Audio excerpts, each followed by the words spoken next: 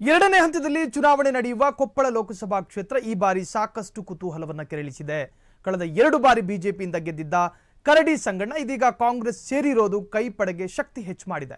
ಈ ಬಗ್ಗೆ ಕಾಂಗ್ರೆಸ್ ಅಭ್ಯರ್ಥಿ ಕೆ ರಾಜಶೇಖರ್ ಹಿಟ್ನಾಳ್, ಸಹೋದರ ಹಾಗೂ ಕೊಪ್ಪಳ ಶಾಸಕ K Raghavendra, Freedom TV editor Suresh ji ಜೊತೆ ಮಾತನಾಡಿದ್ದಾರೆ. ಏನ್ ಮಾತಾಡಿದ್ದಾರೆ? ಬನ್ನಿ ಈ ಬಾರಿಯ ಲೋಕಸಭಾ ಚುನಾವಣೆಯಲ್ಲಿ ಕೊಪ್ಪಳ ಲೋಕಸಭಾ ಕ್ಷೇತ್ರ ಸಾಕಷ್ಟು ವಿಶೇಷತೆಗಳಿಂದ ಕೂಡಿದೆ. ಹಾಗೆಯೇ ಈ ಬಾರಿ ಸಾಕಷ್ಟು ಪೈಪೋಟಿಯಿಂದ ಕೂಡಿರುವಂತಹ ಕ್ಷೇತ್ರ, ಅದರಲ್ಲೂ ಕೂಡ ಬಿಜೆಪಿಯಿಂದ ಆಗಿದ್ದಂಥ ಕರಡಿ ಸಂಗಣ್ಣ ಅವರು ಕಾಂಗ್ರೆಸ್ಗೆ ಮರಳಿರ್ತಕ್ಕಂಥದ್ದು ಹಿಟ್ನಾಳ್ ಬ್ರದರ್ಸ್ಗೆ ಮತ್ತಷ್ಟು ಶಕ್ತಿಯನ್ನ ಕೊಟ್ಟಿದೆ ಅಂತ ವಿಶ್ಲೇಷಣೆ ಮಾಡಲಾಗ್ತಾ ಇದೆ. ಇದೀಗ ರಾಜಶೇಖರ್ ಹಿಟ್ನಾಳ್ ಅವರು ಏನು ಈ ಸ್ಪರ್ಧಾ ಕಣದಲ್ಲಿದ್ದಾರೆ, ಅವರ ಸಹೋದರರು ಮತ್ತು ಶಾಸಕರು ಕೂಡ ಆಗಿರುವಂತ ಕೆ. ರಾಘವೇಂದ್ರ ಹಿಟ್ನಾಳ್ ಅವರು ನಮ್ಮ ಜೊತೆಗಿದ್ದಾರೆ. ಸರ್, ನಮಸ್ಕಾರ. ನಮಸ್ಕಾರ. ನಮಸ್ಕಾರ. ಸರ್, ಈ ಬಾರಿ ಕೊಪ್ಪಳ ಲೋಕಸಭಾ ಕ್ಷೇತ್ರ ಸಾಕಷ್ಟು ಒಂದು ಜಿದ್ದಾಜಿದ್ದ ಪೈಪೋಟಿಯಿಂದ ಕೂಡಿದೆ ಅಂತಲೇ ಹೇಳ್ಬೋದು. ಹಾಗೇನೆ ಕರಡಿ ಸಂಗಡ ಅವರು ಕೂಡ ಬಿಜೆಪಿ ತೊರೆದು ಹಾಲಿ ಸಂಸದರಿದ್ದಂಥವ್ರು ನಿಮ್ಮ ಪಕ್ಷಕ್ಕೆ ಬಂದಿದ್ದಾರೆ. ಹೇಗೆ ನಿಮಗೆ ಒಂದು ರೀತಿ ಶಕ್ತಿ ಬಂದಿದೆಯಾ? ಹೇಗೆ ಅಂತಾರೆ ಇದ್ರ ಬಗ್ಗೆ.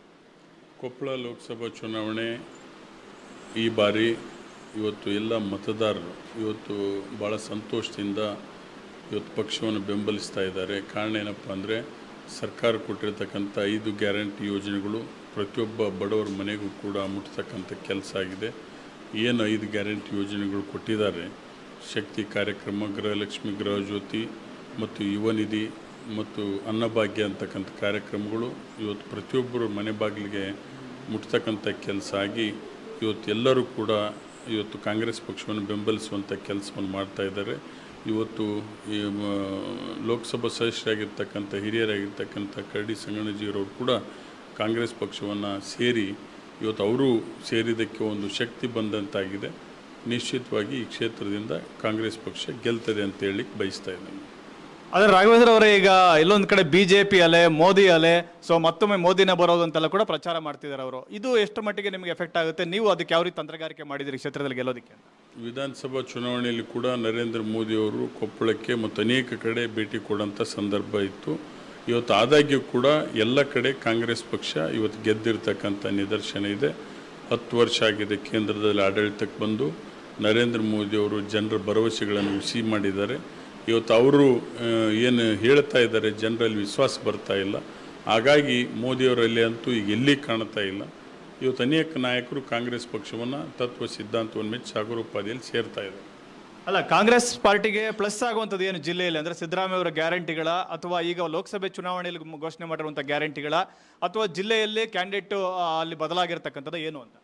ಈಗ ಈ ಮೂರ್ನಾಲ್ಕು ವಿಚಾರಗಳಿದೆ. ಒಂದು, ಈ ರಾಜ್ಯ ಸರ್ಕಾರ ಚುನಾವಣೆ ಪೂರ್ವದಲ್ಲಿ ಘೋಷಣೆ ಮಾಡಿದಂಥ ಐದು ಗ್ಯಾರಂಟಿ ಯೋಜನೆಗಳನ್ನು ಜಾರಿ ಕೊಟ್ಟಿದ್ದಾರೆ. ಮತ್ತೊಂದು, ಇವತ್ತು ಕೇಂದ್ರ ಸರ್ಕಾರ ಗ್ಯಾರಂಟಿ ಯೋಜನೆ ಘೋಷಣೆ ಮಾಡಿರ್ತಕ್ಕಂಥದ್ದು ಕೂಡ ಜನರಲ್ಲಿ ಪರಿಣಾಮ ಬೀರ್ತಾ ಇದೆ. ಕಾಂಗ್ರೆಸ್ ಪಕ್ಷ ನುಡಿದಂತೆ ನಡೀತಿದೆ ಅಂತಕ್ಕಂಥ ವಿಶ್ವಾಸ ಸಾರ್ವಜನಿಕರಲ್ಲಿ ಇದೆ. ಹಾಗಾಗಿ ಇವತ್ತು ಅದು ಕೂಡ ಲಾಭ ಆಗ್ತದೆ ಮತ್ತು ಈಗಿರ್ತಕ್ಕಂಥ ಲೋಕಸಭಾ ಸದಸ್ಯರು ಕೂಡ ಸೇರಿದಾರಲ್ಲ, ಅದು ಕೂಡ ಹೆಚ್ಚು ಲಾಭ ಆಗ್ತದೆ. ಜನರ ಒಂದು ಈಗ ನಾವು ಅನೇಕ ಸಭೆ ಸಮಾರಂಭಗಳನ್ನು ನೋಡಿದಾಗ ಹೆಚ್ಚು ತಾಯಂದಿರು, ಯುವಕ ಮಿತ್ರರು ಸೇರ್ತಕ್ಕಂಥ ಸಂದರ್ಭ ಇದೆ, ರೈತ ಬಾಂಧವರು ಸೇರ್ತಾ ಇದ್ದಾರೆ. ಹಾಗಾಗಿ ಹೆಚ್ಚು ಅನುಕೂಲ ಈ ಒಂದು ಲೋಕಸಭಾ ಚುನಾವಣೆಯಲ್ಲಿ ಆಗ್ತದೆ. ಈ ಬಾರಿ ಲೋಕಸಭೆ ಚುನಾವಣೆಯ ಪೂರ್ವ ಸಿದ್ಧತೆಗಳಾಗುವಂಥ ಸಂದರ್ಭದಲ್ಲೇ ಬಿಜೆಪಿಗೆ ಜನಾರ್ದನ್ ರೆಡ್ಡಿ ಅವರು ಸೇರ್ಪಡೆ ಆದರು. ಅವರು ಜಿಲ್ಲೆಯಲ್ಲಿ ಬಹಳ ಆಕ್ಟಿವ್ ಆಗಿ ಓಡಾಡ್ತಾ ಇದ್ದಾರೆ ಅನ್ನೋ ಮಾತಿದೆ. ಸೊ ಅವರಿಂದಾಗಿ ಏನಾದರೂ ಬಿಜೆಪಿಗೆ ಸ್ಟ್ರೆಂಥನ್ ಆಗುತ್ತಾ ಅಥವಾ ಅದೇನು ಕೂಡ ನಿಮಗೆ ಎಫೆಕ್ಟ್ ಆಗೋದಿಲ್ವಾ ಕಾಂಗ್ರೆಸ್ಗೆ ಏನಂತಾರೆ ಇದ್ರ ಬಗ್ಗೆ? ಮತ್ತೆ ಕನಕಗಿರಿ ಶಾಸಕರು ಮತ್ತು ಸಚಿವರಾಗಿರ್ತಕ್ಕಂಥ ಶಿವರಾಜ್ ತಂಗಡಿಗೆ ಅವರು ಮತ್ತು ಜನಾರ್ದನ್ ನಡುವೆ ಒಂದು ರೀತಿ ಫೈಟ್ ನಡೀತಾ ಇದೆ, ಮಾತಿನ ಸಮರ ನಡೀತಾ ಇದೆ. ಏನು ಅನ್ಸುತ್ತೆ ಇದ್ರ ಬಗ್ಗೆ ತಮಗೆ? ಅದೇನು ಎಫೆಕ್ಟ್ ಆಗೋದಿಲ್ಲ. ಇವತ್ತು ನಮಗೆ ಕಾಂಗ್ರೆಸ್ ಬೇಸ್ ಇದೆ ಗಂಗಾವತಿನಲ್ಲಿ. ಹಾಗಾಗಿ ಆ ಎಂಟು ಕ್ಷೇತ್ರದಲ್ಲಿ ಕಾಂಗ್ರೆಸ್ ಅಲ್ಲೇ ಇರೋದ್ರಿಂದ ಅದು ಏನು ಪರಿಣಾಮ ಬೀರಲ್ಲ. ಆದರೆ ಇಲ್ಲಿ ಅಭ್ಯರ್ಥಿ ಬದಲಾವಣೆ ಮಾಡಿರುವಂಥದ್ದು ಪಿಯಿಂದ ಸೊ ಇದ್ರ ಬಗ್ಗೆ ತಾವೇನು ಹೇಳ್ತೀವಿ ಅಭ್ಯರ್ಥಿ ಬದಲಾವಣೆ ಮಾಡಿರ್ತಕ್ಕಂಥದ್ದು ನಿಜಕ್ಕೂ ಕೂಡ ಬಿ ಜೆ ಪಿಗೆ ಒಂದು ದೊಡ್ಡ ನಷ್ಟ. ಈಗ ಅವರು ಅಭ್ಯರ್ಥಿ ಮಾಡಿರ್ತಕ್ಕಂಥವ್ರು ಡಾಕ್ಟ್ರು. ಲೋಕ ಇದೇನು ಕೋವಿಡ್ ಸಂದರ್ಭದಲ್ಲಿ ಅವರಿಗೆ ಸಾರ್ವಜನಿಕವಾಗಲಿ ಅಥವಾ ಪೇಷಂಟ್ಗಳಿಗಾಗಲಿ ಅನುಕೂಲತೆ ಅವರಿಂದ ಆಗಲಿಲ್ಲ. ಹೆಚ್ಚು ಇವತ್ತು ಆ ರೋಗಿಗಳಿಂದ ಹಣವನ್ನು ಉಸ್ಲಿ ಮಾಡತಕ್ಕಂಥ ಕೆಲಸ ಮಾಡಿರೋದರಿಂದ ಎಲ್ಲೋ ಒಂದು ಕಡೆ ಜನರಿಗೆ ಆ ಅಭ್ಯರ್ಥಿ ಬಗ್ಗೆ. ಇವತ್ತು ಕೋವಿಡ್ ಸಂದರ್ಭದಲ್ಲಿ ಈಗ ಉದಾಹರಣೆ, ಬಿಜಾಪುರದಲ್ಲಿ ಎಂ ಬಿ ಪಾಟೀಲ್ರು ಕೋವಿಡ್ ಪೇಷಂಟ್ಗಳಿಗೆ ರೇಟ್ ಕಡಿಮೆ ಮಾಡಿದರು, ಬೆಡ್ ರೇಟ್ ಕಡಿಮೆ ಮಾಡಿದರು, ಟ್ರೀಟ್ಮೆಂಟ್ ರೇಟ್ ಕಡಿಮೆ ಮಾಡಿದರು, ಹೆಚ್ಚು ಅನುಕೂಲತೆ ಮಾಡಿದರು. ಅದು ಒಂದು ಯಾವುದೇ ಆ ರೀತಿ ಇಲ್ಲಿ ಮಾಡಲಿಕ್ಕೆ ಆಗಲಿಲ್ಲ. ಹೆಚ್ಚು ಜನರಿಂದ ಹಣ ಉಸ್ಲಿ ಮಾಡ್ತಕ್ಕಂಥ ಕೆಲಸ ಆಯಿತು. ಜನರಿಗೆ ಒಂದು ಕಡೆ ಕೋವಿಡ್ ಸಂದರ್ಭದಲ್ಲಿ ಅವರು ಏನು ಹೆಚ್ಚು ಬಿಲ್ ಮಾಡಿರ್ತಕ್ಕಂಥದ್ದು ಕೂಡ ಜನರ ಮೇಲೆ ಪರಿಣಾಮ ಬೀರ್ತದೆ. ಹಾಗಾಗಿ ಅವ್ರ ಬಗ್ಗೆ ನಾವು ಮಾತನಾಡ್ತಕ್ಕಂಥ ಅವಶ್ಯಕತೆ ನಮಗಿಲ್ಲ. ಯಾಕಂದ್ರೆ ನಮ್ಮ ಪಕ್ಷದ ಕಾರ್ಯಕ್ರಮಗಳು ಅಷ್ಟಿದ್ದಾವೆ ಸೊ ಜನರಿಗೆ ಮುಟ್ತಾ ಇದ್ದಾವೆ ಹಾಗಾಗಿ ಹೆಚ್ಚು ಈ ಲೋಕಸಭೆಯಲ್ಲಿ ಕಾಂಗ್ರೆಸ್ ಪಕ್ಷದ ಗೆಲುವಿಗೆ ಹೆಚ್ಚು ಅನುಕೂಲತೆಗಳಾಗ್ತವೆ ಹಿಂದೊಮ್ಮೆ ಕೊಪ್ಪಳದಲ್ಲಿ ಸಿದ್ದರಾಮಯ್ಯ ಅವರು ಕೂಡ ಸ್ಪರ್ಧೆ ಮಾಡಿದಂಥ ಕ್ಷೇತ್ರ ಕೊಪ್ಪಳ ಕ್ಷೇತ್ರ. ಸೊ ಭಾಳ ಹೆಸರು ಮಾಡಿರುವಂಥ ಕ್ಷೇತ್ರ. ಈಗ ಸಿದ್ದರಾಮಯ್ಯ ಅವರು ಕೂಡ ಈ ಕ್ಷೇತ್ರಕ್ಕೆ ಬರ್ತಾ ಇದ್ದಾರೆ ಪ್ರಚಾರಕ್ಕೆ ಭಾಳ ಆಪ್ತರು ಕೂಡ ನೀವು ಅವರಿಗೆ ನಿಮ್ಮ ಫ್ಯಾಮಿಲಿ ಕೂಡ, ಕುಟುಂಬ ಸಿದ್ದರಾಮಯ್ಯ ಅವರಿಗೆ ಸೊ ಇದ್ರ ಬಗ್ಗೆ ಸಿದ್ದರಾಮಯ್ಯ ಅವರ ಪ್ರಚಾರ ಎಷ್ಟರ ಮಟ್ಟಿಗೆ ತಮ್ಮ ಒಂದು ಫಲ ಕೊಡುತ್ತೆ? ನಿಜವಾಗಲೂ ಸನ್ಮಾನ್ಯ ಮುಖ್ಯಮಂತ್ರಿಗಳಾಗಿರ್ತಕ್ಕಂಥ ಸಿದ್ದರಾಮಯ್ಯ ಸಾಹೇಬ್ರವರು ಅವರು ಕೊಟ್ಟಿರ್ತಕ್ಕಂಥ ಕಾರ್ಯಕ್ರಮಗಳು ಇವತ್ತು ಜನರ ಮನಸ್ಸಿನಲ್ಲಿ ಇದ್ದಾವೆ ಇವತ್ತು ನಮ್ಮ ಲೋಕಸಭಾ ಕ್ಷೇತ್ರದಲ್ಲಿ ಮೂರು ಕ್ಷೇತ್ರಗಳಿಗೆ ಬರ್ತಾ ಇದ್ದಾರೆ. ಜನರಿಗೆ ಇಂಪ್ಯಾಕ್ಟ್ ಆಗ್ತಾ ಇದೆ. ಆ ಕ್ಷೇತ್ರಗಳು ಇನ್ನೂ ಹೆಚ್ಚು ಜನರ ಆಕರ್ಷಣೆ ಆಗ್ತದೆ. ಯಾಕಂದರೆ ನುಡಿದಂಥ ನಡೆದ ನಾಯಕರು ಇವತ್ತು ಈ ದೇಶದಲ್ಲಿದ್ದರೆ ಅದು ಸನ್ಮಾನ್ಯ ಸಿದ್ದರಾಮಯ್ಯ ಸಾಹೇಬರು. ಇವತ್ತು ಮೋದಿಯವರ ಸುಳ್ಳಿನ ಭರವಸೆಗಳಿಗೆ ಇವತ್ತು ಏನು ರಾಜ್ಯದ ಟ್ಯಾಕ್ಸನ್ನು ಕಲೆಕ್ಟ್ ಮಾಡಿ, ಇವತ್ತು ನಮಗೆ ಕೇವಲ ವಾಪಸ್ ಕೊಡ್ತಕ್ಕಂಥದ್ದು ನೂರು ರೂಪಾಯಿಗೆ ಹದಿಮೂರು ಪರ್ಸೆಂಟ್ ಮಾತ್ರ ಕೊಡ್ತಾ ಇದ್ದಾರೆ. ಹಾಗಾಗಿ ಇದು ಜನರ ಮೇಲೆ ಪರಿಣಾಮ ಬೀರ್ತಿದೆ.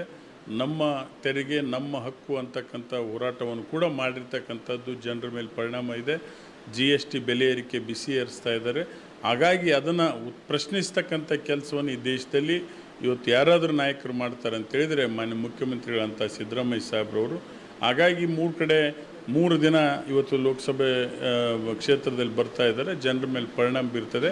ಹೆಚ್ಚು ಅನುಕೂಲತೆ ಅದರಿಂದ ಆಗ್ತದೆ. ಆದರೆ ಈಗ ಕಾಂಗ್ರೆಸ್ ಅವರು ಮಾಡಿರುವಂಥ ಚೊಂಬು ಪ್ರತಿಭಟನೆ, ಈಗ ಒಂದು ರೀತಿ ನಗೆಪಾಟ್ಲು ಈಡಾಗ್ತಾ ಇದೆ, ತಮಾಷೆಗೆ ಮಾಡ್ತಿದ್ದಾರೆ ಅಂತ ಬಿಜೆಪಿ ಆರೋಪ ಮಾಡ್ತಿದ್ದಾರೆ ಈಗ ಚಂಬು ಹೋರಾಟ ಯಾಕೆ ಮಾಡ್ತಾ ಇದ್ದಾರೆ ನಮ್ಮ ರಾಜ್ಯಕ್ಕೆ ಕೇಂದ್ರದಿಂದ ಆಗಿರ್ತಕ್ಕಂಥ ಅನ್ಯಾಯಗಳ ವಿರುದ್ಧ ಧ್ವನಿ ಎತ್ತಕ್ಕಂಥ ಕೆಲಸವನ್ನು ಮಾಡ್ತಾ ಇದೆ. ಇದು ಪ್ರತಿಯೊಬ್ಬರು ಮಾಧ್ಯಮದಲ್ಲಿ, ಪತ್ರಿಕೆಗಳಲ್ಲಿ ಮೀ, ನೋಡ್ತಾ ಇದ್ದಾರೆ ರಾಜ್, ದೇಶದ ಆಡಳಿತ ವ್ಯವಸ್ಥೆಯಾಗಿದೆ ರಾಜ್ಯದ ಆಡಳಿತ ವ್ಯವಸ್ಥೆ ಆಗಿದೆ. ಎಷ್ಟು ಪರಿಣಾಮಕಾರಿಯಾಗಿ ಕಾಂಗ್ರೆಸ್ ಪಕ್ಷ ರಾಜ್ಯದಲ್ಲಿ ಜನರಿಗೆ ಕಾರ್ಯಕ್ರಮ ರೂಪಿಸಿದೆ. ಯಾಕೆ ಕೇಂದ್ರ ಸರ್ಕಾರ ವಿಫಲ ಆಯಿತು ಅಂತಕ್ಕಂಥ ಜನರು ಪ್ರತಿಯೊಬ್ಬರು ವಿಚಾರ ಮಾಡ್ತಾರೆ. ವಿಚಾರ ಮಾಡಿ ಕಾಂಗ್ರೆಸ್ ಪಕ್ಷವನ್ನು ಬೆಂಬಲಿಸ್ತಕ್ಕಂಥ ಕೆಲಸ ಮಾಡ್ತಾ ಇದ್ದರು. ಈಗ ಕರಡಿ ಸಂಗಣ್ಣ ಅವರು ಹಿಟ್ನಾಳ್ ಫ್ಯಾಮಿಲಿಯನ್ನು ಎರಡು ಬಾರಿ ಸೋಲ್ಸಿರ್ತಕ್ಕಂಥವ್ರು. ಅವರು ನಿಮ್ಮ ಪಕ್ಷಕ್ಕೆ ಮೂರು ಬಾರಿ ಸೋಲ್ಸಿದ್ದಾರೆ. ಅವರು ನಿಮ್ಮ ಪಕ್ಷಕ್ಕೆ ಬಂದಿದ್ದಾರೆ. ಈಗ ನಿಮ್ಮ ಪಕ್ಷದಿಂದ ಅವ್ರಿಗೆ ಏನಾದ್ರು ಸ್ಥಾನಮಾನ ಕೊಟ್ಟಿದ್ದೀರಾ? ಯಾಕಂದ್ರೆ ಅವರು ಒಂದು ಶಕ್ತಿ ತುಂಬ್ತಾ ಇದ್ದಾರೆ ನಿಮಗೆ. ಅವ್ರಿಗೇನು ಸ್ಥಾನಮಾನದ ಭರವಸೆ ಸಿಕ್ಕಿದೆ ಏನಾದ್ರು ಈಗ ಕರಡಿ ಕುಟುಂಬ ಮತ್ತು ಇಟ್ನಾಳ್ ಕುಟುಂಬ ಸುಮಾರು ಮೂವತ್ತು ಮೂವತ್ತೈದು ವರ್ಷಗಳಿಂದ ಪ್ರತಿಸ್ಪರ್ಧಿಯಾಗಿ ಹೋರಾಟವನ್ನು ಮಾಡ್ತಾ ಇದ್ವಿ. ಈ ಸಂದರ್ಭದಲ್ಲಿ ಈ ನಂತರ ಮೂವತ್ತು ವರ್ಷಗಳ ನಂತರ ಇವತ್ತು ಅವರು ಪಕ್ಷ ಸೇರಿದ್ದಾರೆ. ಬಟ್ ಅವರು ಈ ಸಾರ್ವಜನಿಕ ಜೀವನದಲ್ಲಿ ಹೆಚ್ಚು ಸಮಾಜಮುಖಿಯಾಗಿ ಕೆಲಸ ಮಾಡಿದ್ದಾರೆ. ಅವರು ಹೆಚ್ಚು ಜನರ ಮನಸ್ಸಿನಲ್ಲಿ ಇದ್ದಾರೆ ಸೊ, ಅವರ ಸೀನಿಯಾರಿಟಿ ಕೂಡ ನಮ್ಮ ಪಕ್ಷದ ವರಿಷ್ಠ ಮುಂದಿನ ದಿನಮಾನಗಳಲ್ಲಿ ಕನ್ಸಿಡರ್ ಮಾಡ್ತಾರೆ. ಲಿಂಗಾಯತ ಮತದಾರರು ಬಹಳ ಪ್ರಮುಖವಾಗಿ ಈಗ ರಾಜ್ಯದಲ್ಲಿ ಬಿಜೆಪಿಗೆ ರಾಜ್ಯಾಧ್ಯಕ್ಷರಾಗಿ ಬಿ ವಿ ವಿಜೇಂದ್ರ ವಿಜೇಂದ್ರ ಆಗಿರ್ತಕ್ಕಂಥದ್ದು. ಯಡಿಯೂರಪ್ಪ ಅವರ ಒಂದು ಶಕ್ತಿ. ಅವರು ಇಪ್ಪತ್ತೆಂಟಿಗೆ ಇಪ್ಪತ್ತೆಂಟು ಕ್ಷೇತ್ರ ನಾವು ಗೆಲ್ತೀವಿ ಅಂತ ಹೇಳ್ತಾ ಇದ್ದಾರೆ ಅದು ಕೊಪ್ಪಳದ ಮೇಲೆ ಯಾವ ರೀತಿ ಎಫೆಕ್ಟ್ ಆಗ್ಬೋದು ಅಥವಾ ಏನು ಎಫೆಕ್ಟ್ ಆಗಲ್ವಾ? ಏನು ಹೇಳ್ತೀವಿ ಆ ಥರದಲ್ಲಿ ಏನು ನಮ್ಮ ಉತ್ತರ ಕರ್ನಾಟಕದ ಒಂದು ಇದನ್ನು ನೋಡಿದರೆ, ಇವತ್ತು ನಾವು ಇಲ್ಲೇನು ಸುಮಾರು ಐದು ಸ್ಥಾನಗಳು ಇದೆ. ಹೆಚ್ಚು ಈ ಉತ್ತರ ಕರ್ನಾಟಕನೇ ತೆಗೆದುಕೊಳ್ಳೋದಾದರೆ ಹದಿನಾಲ್ಕು ಕ್ಷೇತ್ರದಲ್ಲಿ ಬಹುಶಃ ನನಗನ್ನಿಸ್ತದೆ ಹದಿನಾಲ್ಕು ಗೆದ್ದರೂ ಆಶ್ಚರ್ಯ ಪಡತಕ್ಕಂಥದ್ದಿಲ್ಲ ಯಾಕಂದರೆ ಈ ಕಡೆ ವ್ಯವಸ್ಥೆನೇ ಬೇರೆ. ಇಲ್ಲೇನಿದ್ರೂ ಕೂಡ ಸ ಬಡವರ ಕಾರ್ಯಕ್ರಮಗಳು ಮತ್ತು ನಮ್ಮ ನಾಯಕರಾಗಿರ್ತಕ್ಕಂಥ ಸಿದ್ದರಾಮಯ್ಯ ಸಾಹೇಬ್ರವರ ಒಂದು ವರ್ಚಸ್ಸು ಈ ಭಾಗದಲ್ಲಿರೋದ್ರಿಂದ ಹೆಚ್ಚು ಗೆಲ್ಲಕ್ಕೆ ಅವಕಾಶ ಆಗ್ತದೆ. ಇಡೀ ರಾಜ್ಯಾದ್ಯಂತ ಇದೆ.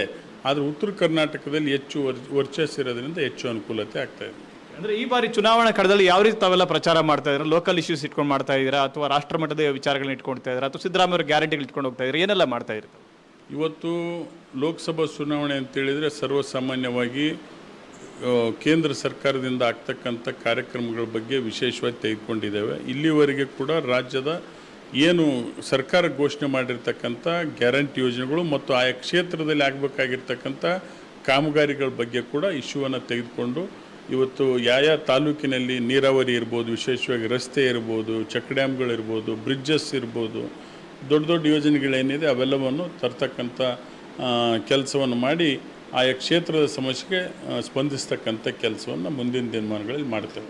ಇನ್ನು ಈ ಒಂದು ಕೊಪ್ಪಳ ಲೋಕಸಭಾ ಕ್ಷೇತ್ರದಲ್ಲಿ ಪ್ರತಿ ಬಾರಿ ಚುನಾವಣೆ ಫಲಿತಾಂಶ ಬಂದಾಗ ಈ ಮತ ಪ್ರಮಾಣ ಅಥವಾ ಅಂತರ ಏನು ಜಾಸ್ತಿ ಏನೂ ಆಗಿಲ್ಲ. ಒಂದು ಮೂರು ಪರ್ಸೆಂಟ್ ಮೂರುವರೆ ಪರ್ಸೆಂಟ್ ಅಷ್ಟರಲ್ಲೇ ಅವರು ಆಪೋಸಿಟ್ ಕ್ಯಾಂಡಿಟ್ ಅಥವಾ ವಿನ್ನಿಂಗ್ ಕ್ಯಾಂಡಿಟ್ ಆಗಿರ್ತಕ್ಕಂಥದ್ದು. ಸೊ ಈ ಬಾರಿ ಯಾವ ರೀತಿ ಬರ್ಬೋದು ರಿಸಲ್ಟು ಎಷ್ಟು ಅಂತರದಿಂದ ಗೆಲ್ಬೋದು ಅಂತ ಬಹುಶಃ ಈಗಿರ್ತಕ್ಕಂಥ ವಾತಾವರಣವನ್ನು ನಾವು ನೋಡಿದರೆ ವಿಧಾನಸಭೆದೇ ಉದಾಹರಣೆಗೆ ನಾವು ತೆಗೆದುಕೊಂಡ್ರೆ ಒಂದು ಲಕ್ಷ ಅರವತ್ತು ಸಾವಿರ ಅಂತರ ಇದೆ. ಸುಮಾರು ಎಂಟು ಜನರಲ್ಲಿ ಆರು ಜನ ಶಾಸಕರಾಗಿದ್ದೇವೆ.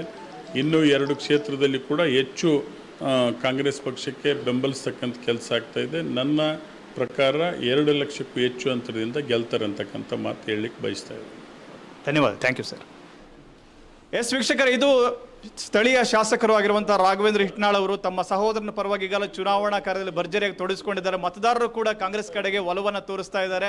ಕಾಂಗ್ರೆಸ್ನ ಗ್ಯಾರಂಟಿಗಳು ಸಿದ್ದರಾಮಯ್ಯ ಅವರ ವರ್ಚಸ್ಸು ಹಾಗೂ ರಾಹುಲ್ ಗಾಂಧಿ ಅವರ ಪ್ರಚಾರ ಇರಬಹುದು ಮತ್ತು ರಾಷ್ಟ್ರ ಮಟ್ಟದಲ್ಲಿ ಕಾಂಗ್ರೆಸ್ ಕೊಟ್ಟಿರುವಂಥ ಗ್ಯಾರಂಟಿಗಳು. ಬಡವರು ಮತ್ತು ಶ್ರಮಿಕರು, ಮಹಿಳೆಯರು, ಯುವಕರಿಗೋಸ್ಕರ ಕೊಟ್ಟಿರುವಂತಹ ಗ್ಯಾರಂಟಿಗಳು ಕೂಡ ನಮ್ಮ ಪಕ್ಷಕ್ಕೆ ಬಲ ತುಂಬುತ್ತೆ. ಲೋಕಲ್ ವಿಚಾರಗಳು ಕೂಡ ನಾವು ಅಷ್ಟೇ ಪ್ರಭಾವಕ, ಪ್ರಭಾವಶಾಲಿಯಾಗಿ ಜನರು ಮನ ಮುಟ್ಟುವಂಥ ರೀತಿಯಲ್ಲಿ ಕೆಲಸ ಮಾಡ್ತಾ ಇದ್ವಿ ಈ ಬಾರಿ ಅತಿ ಹೆಚ್ಚು ಅಂತರದಿಂದ ಕಾಂಗ್ರೆಸ್ ಅಭ್ಯರ್ಥಿ ಗೆಲ್ತಾರೆ ಅಂತ ಹೇಳ್ತಾ ಇದ್ದಾರೆ. ಇದು ಇವತ್ತಿನ ವಿಶೇಷ ನೋಡ್ತಾ ಇರಿ ಫ್ರೀಡಮ್ ಟಿವಿ ಇದು ಜನಸಾಮಾನ್ಯರ ಶಕ್ತಿ.